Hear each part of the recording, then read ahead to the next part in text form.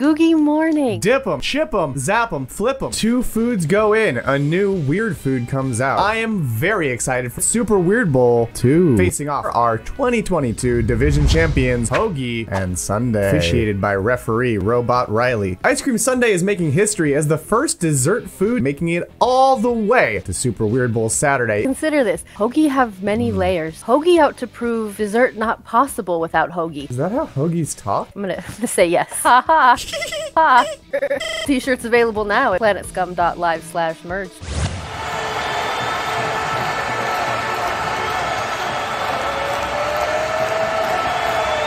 It's weird. It's weird.